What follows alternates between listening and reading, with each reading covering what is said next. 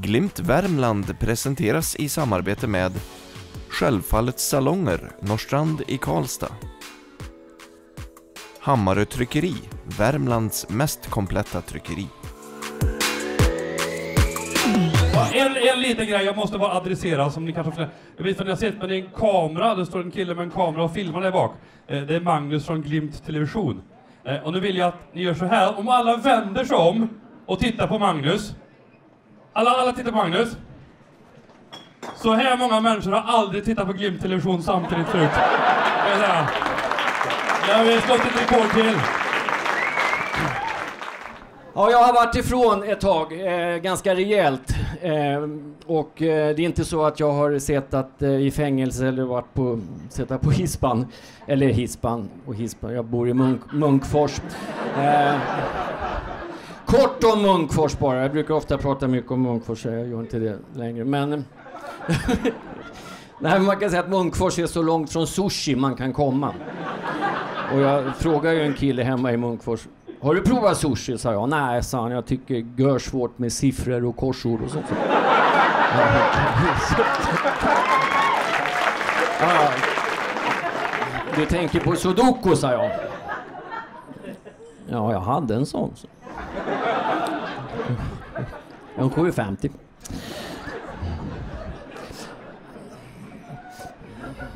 Nej, men det är bra i Munkfors. Jag har bott där i 35 år faktiskt. Jag var 32 när jag flyttade dit och så jag bott där i tre år. Jag fyllde 67 år nu. Eh, och ni har väl märkt det, som sagt. Jag är ju ganska gammal. Eh, och jag vet att många utav er som är unga kan ju tycka att det är lite sådär obehagligt med de här människorna. Eh, men jag får vara här. Eh, och det är inte bara det är inte bara Eriks eh, stora hjärta utan det, det är faktiskt från, från och med i år så är det lite, jag är inkvoterad. En sån här ståuppkväll måste vara både tjejer och killar och sen minst en pensionär också sådär. Men eh, innan, alltså jag har ju gjort ett break då på ett antal år. Men innan dess så eh, höll jag ju på i faktiskt i 20 år och, och jag blev väl inte sådär jätterik och känd och sådär men jag gick ändå runt på det.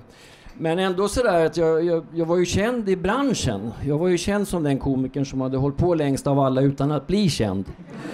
Eh, och och det, det var, jag tror att det är någonting med det här ansiktet som inte riktigt sådär fastnar. Om, om, någon frågar er imorgon så här, var Håkan Jäder där? Nej, det tror jag inte. Var en i publiken som var ganska lik Håkan Juholt? Det är inte, det inte det du tänker på? Nej, men det kan vara lite trist så här. folk glömmer mig så jävla fort och, och det är så illa faktiskt att jag tror att jag skulle kunna stå här i tio minuter och sen gå bakom och så komma tillbaks direkt så skulle ni tänka, jag hoppas den här killen är bättre än han, än han som var där nyss. Tack. Och du har hållit på med stand-up eh, längst av alla. Nej, inte riktigt längst av alla. Det var ju Ulla Skog, Lenny Norman, Jonas Hallberg, Thomas Oredsson, några till. Eh, de var först. Så att jag, jag började faktiskt 90, 94, 95 där någon gång. Alltså. Och sen höll jag ju på då ett antal år innan jag bestämde mig för att äh, äh, eh, jag skiter i det, jag slutar. Så att de sista åren har jag ju inte gjort någonting och, äh, men sen var jag och kikade lite grann på Norra Brunn nu här i höstas och tyckte liksom att jag haft jävligt trevliga kvällar på Norra Brunn och det har ju gått bra för mig även om jag aldrig så att säga blev någon känd komiker men, men jag har ju ändå tillhört det där gänget som var jag har ju varit, eh, haft ett gott rykte, i, eller har väl fortfarande ett gott rykte i branschen så jag har ju varit med i några sådana här sammanhang med de allra största på turnéer och sådär. Eh, för då de vet att jag har, ja, jag har levererat helt enkelt. Så det är väldigt kul att vara här. Det är också kul att vara här för jag har haft lite av en tuff period på sista tiden. Jag, jag och min kille gjorde slut nyligen. Eh, det var ett gemensamt beslut sådär som man säger när man blivit dumpad. Men det är okej. Vi visste liksom båda två att det inte funkade. Det var bara det att han visste det lite innan jag visste det. Och jag visste det när han berättade det för mig. Men eh, man kan ju inte alltid vara i synk. Så att säga. Nej men det är också, det, det är okej för vi var väldigt olika för jag är vattuman och han är ett kukhuvud. Så,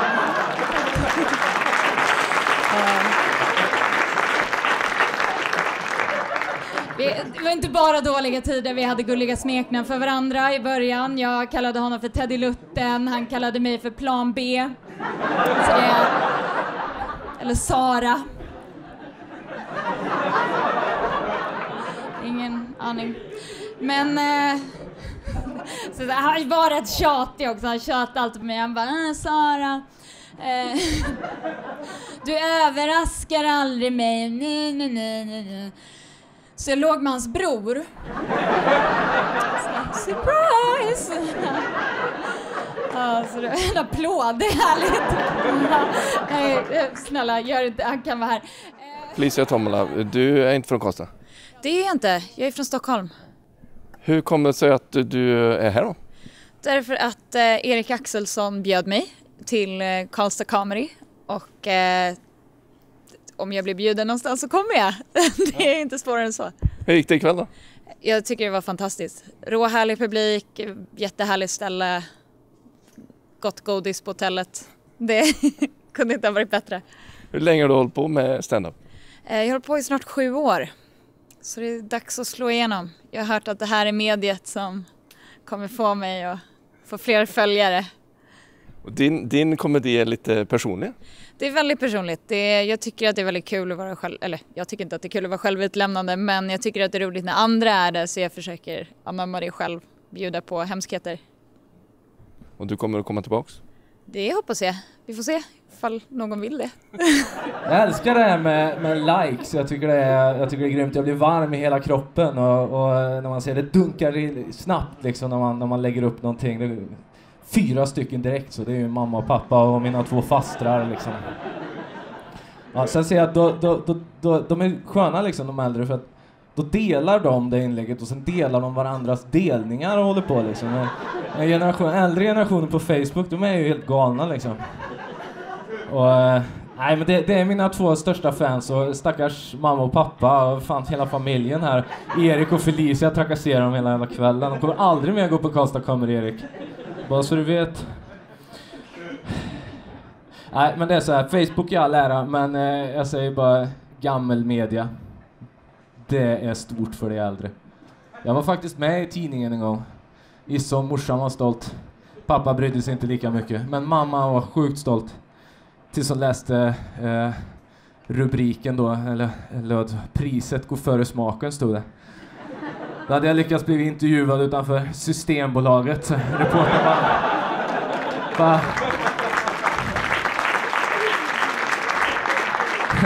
Reportern bara, ah, vad, vad, vad har du i påsen? Ah, ja, jag vodka Explorer och Sofiero. Så här.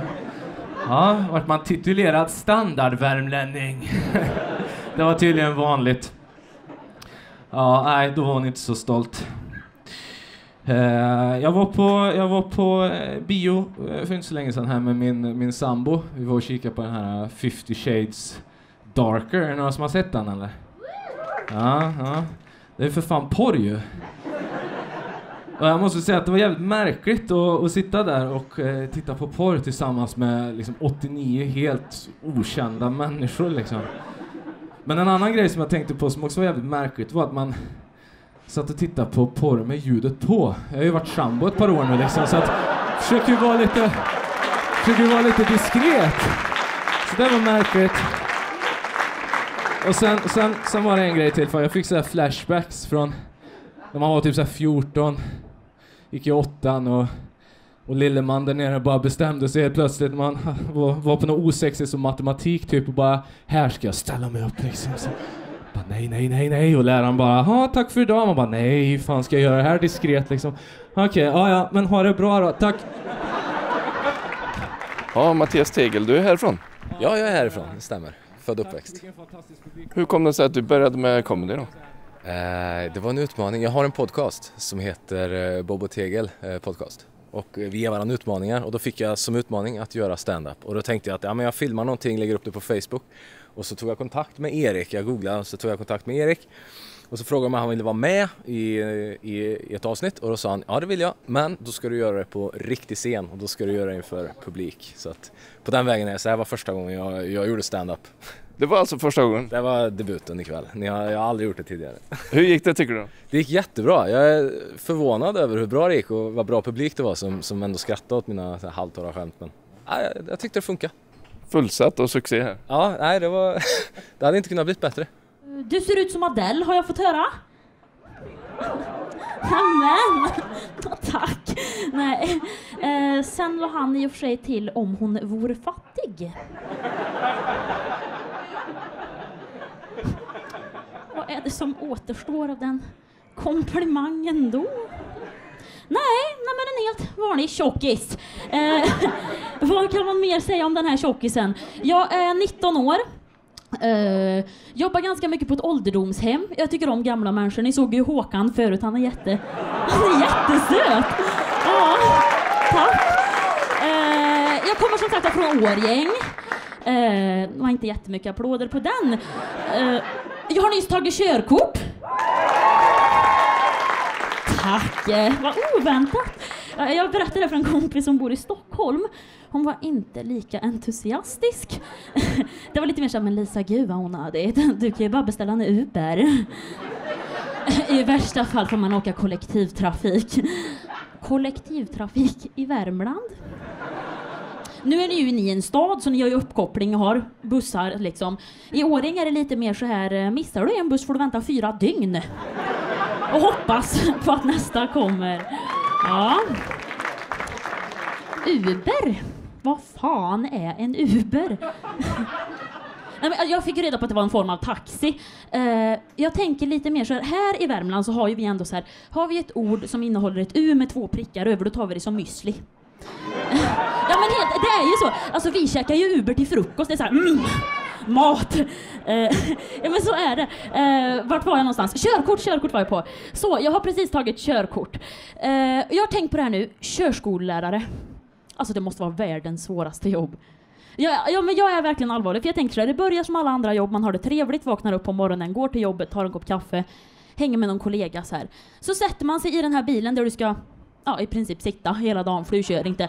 Eh, så kommer en människa in som är okompetent, ska sätta sig, lära sig att hantera ett fordon. Om den här personen är skelögd. Ja men du har ju ett problem, för ditt jobb är att du ska sitta och titta, vart håller personen blicken?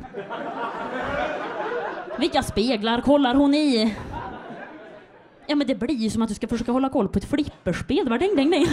Ja men det går ju inte. Oh. Vilka är det som blir körskolelärare? Ja men det känns ju som att de heter typ så här Bengt. Eller Stefan. Det var lite för svårt att komma in på komvux. Lite den. Nej, nej, tack, tack så jättemycket. Här har vi den. Bengt, 53. Helt emot invandring eller integrering i samhället. Ändå hittar han frugan på Thailandsemestern.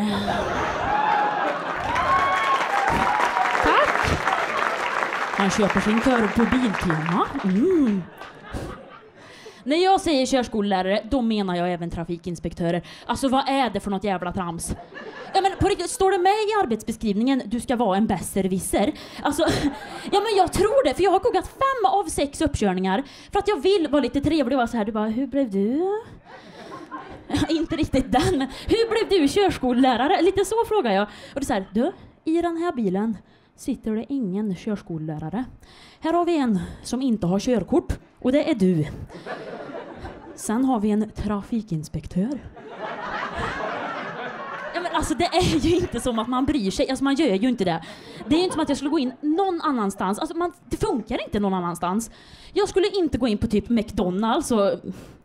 Nu var det ett dåligt exempel. är det något ställe jag skulle in på så är det McDonalds.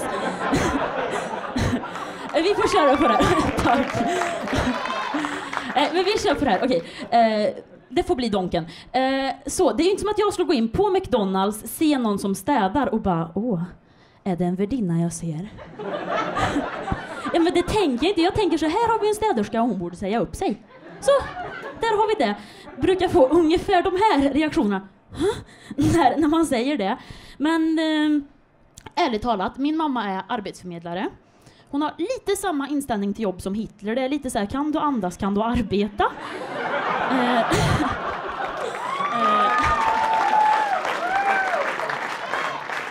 Detta resulterar i att Lisa, 14 år, börjar jobba på McDonalds och ni ser vart det slutade. Nej men alltså detta är ju ingen kropp som är gjord för att arbeta, det ser vi alla. Det här är en kropp gjord för sjukskrivning och sjukpension.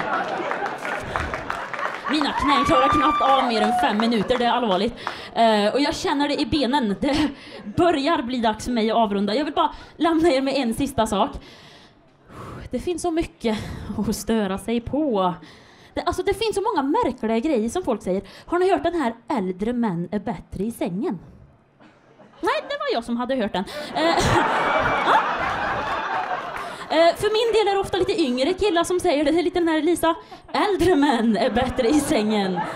Jag vill locka bort en. Eh. men man vill ju testa, man vill ju se då, är gräset grönare på andra sidan? Är äldre män bättre i sängen? Men då visar det sig att man får inte alls ligga med de äldre bara för att jag nu råkade jobba på ett ålderdomshem. Så jättemycket, det var en fantastisk Ja, Lisa Torängen, du, du har gjort lite stand-up tidigare. Ja, precis. Jag var med i Bungee Comedy 2015 eh, som Erik anordnade eh, och sen dess har jag väl typ kört på och så. Mm. Och Karlstad Comedy här ikväll, hur gick det då? Eh, det var nog ett av mina bästa gig faktiskt. Publiken var så sjukt på. Eh, så man fick verkligen så här, ja, men uppmärksamheten man ville ha och fick en boost och köra vidare. Så det är jättebra. Vart får du inspiration och, och vart hittar du på dina skämt? Uh, gud, det är väldigt olika. Ibland är det saker som jag själv har varit med om. Nu har jag väldigt mycket tjockisskämt uh, för att jag tycker det är roligt när man kan driva om sig själv. Uh, och så, så just nu kommer det väl från mig själv får man väl säga då. och så tror jag. Och lite skämt om Årjäng också. Ja precis, man är inavel så är. Man får liksom ta det man har och jobba med det. Jag blir sprallig när man kommer ut så här och jag sitter ju hemma och är småbarnsförälder och, och kan man inte tro så gammal som jag är men det är jag. Och så kommer man ut på krogen och så känner man nu är jag med, fy fan vad gött och så Först känner man sig lite gammal, 18-åringarna har blivit små och sådär och sen får man i sig några järn och så upptäcker man att fan dansmoven sitter ju. Och så lever man livet. Sen kommer jag att tänka på det fenomenet som fanns när jag var 18-20 år. Då fanns det alltid någon äldre farbror på krogen. Som inte hade riktigt koll på att han var lite för gammal. Känner du till det här fenomenet? Det är någon sån här gubbe, han har raka håret så det inte ska synas att han blir flint snart och köpt någon poppig skjorta för att vara lite ungdomlig och... Kan ni se den här personen framför dig? Ja. Så står jag där och bjuder någon tjejer på shot och så tänker jag på det fenomenet så kollar jag omkring och så upptäcker jag att det är ju helt borta idag. Det är ju gött att de har försvunnit. Vad tycker du om kvällen? Det är ju fantastiskt. Lapp på luckan, slutsålt. Både igår i Säffle och i Karlstad idag.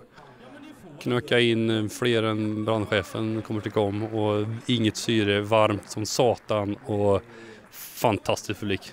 Det var helt otroligt. Och det var en speciell kväll för det var lite L Pitcher här som var headline. Mm. El Pitcher var här, körde en work in progress och testade nytt material inför sin eh, världsturné. De var här och körde skämt för första gången som, eh, och, och, och slipa och testa och greja och sådär. Så det är fett att de vill komma hit och göra det. Was this the, the first time in Costa? No, I've been here a few times. Uh, every time I'm here, there's no sun. I'm told it's the sunny place in Sverige. But I will say this, and I'm not saying this because I'm here, a brilliant audience. Every time as well. I don't know if it's something in the water, um, but they're fantastic. Especially tonight, they were great. Your comedy is uh, very Swedish based. Yeah, I think um, I well Henrik Schiffert said about my comedy like it's about putting up a mirror, a broken mirror to the Swedes, and I kind of do it hopefully in a nice way. I think it would.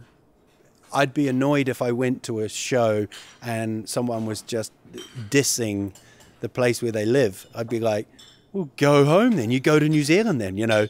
So. Um, uh, the people that you know, I, I, I want to entertain people, and I want to just tell them like, and people, this is like my, it's going to be like my fourth tour, and there's still so much stuff. I see things every day. You know, I we we got a train down the other day, and it was delayed for an hour and a half in the in the station. We hadn't even moved, you know. So it's um, that that kind of world is amazing. I, I do love it here. And you, you mix it up with a, a little bit of physical uh, amusement also.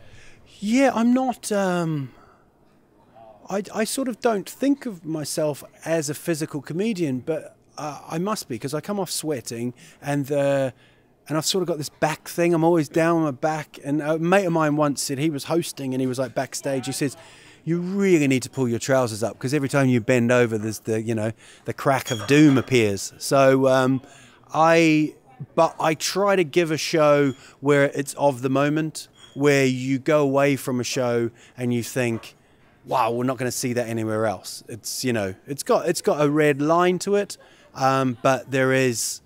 I want it to be a one-off. You know, I want them to, and I'm I'm definitely a comedian who works with the audience because I think there's a whole thing of comedy that you go to a comedy club and you're going to be sitting there in fear like oh what if they they're to if they say something to me it's to be the end of my life you know it's to be awful i never want that i want people to have a great night you know I might sound cheesy, but that's genuinely how I am. And for years, I struggled with being, you know, this trying to be this nice guy. And I thought, oh, you have to be rock and roll and, you know, kick the mic stand down. But people want a bit of nice. People want to laugh hard, you know.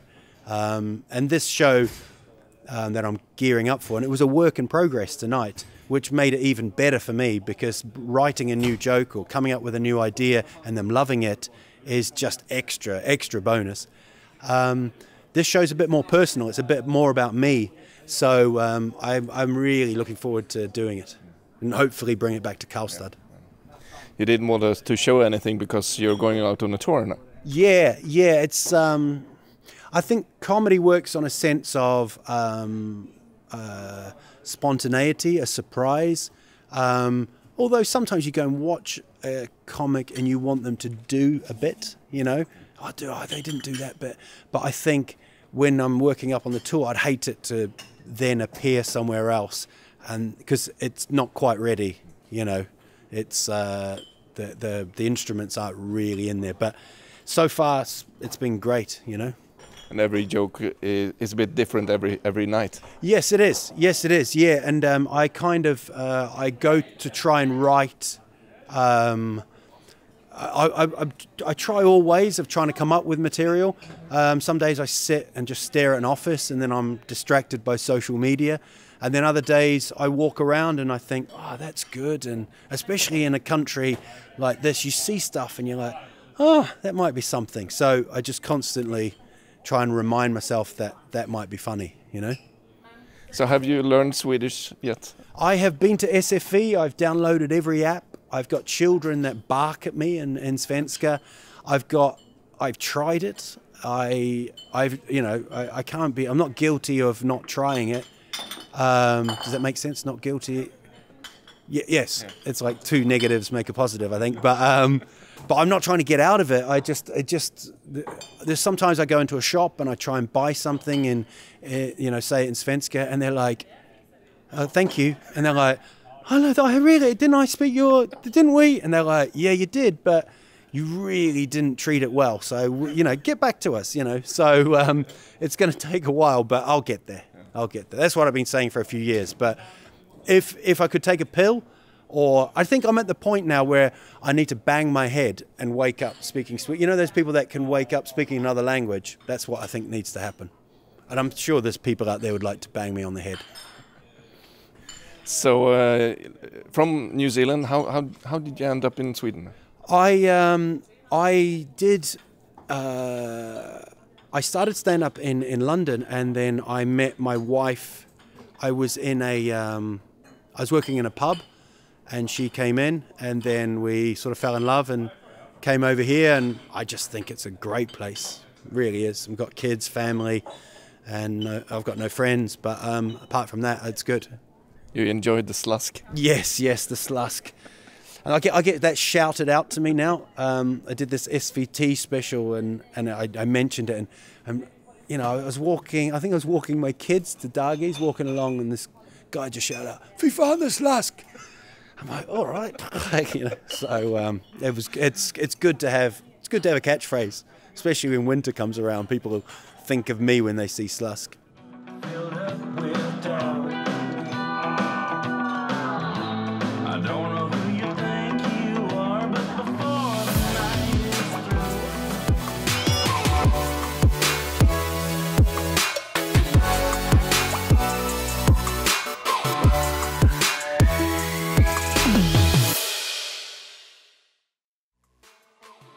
Glimt Värmland presenteras i samarbete med Självfallets salonger, Norrstrand i Karlstad.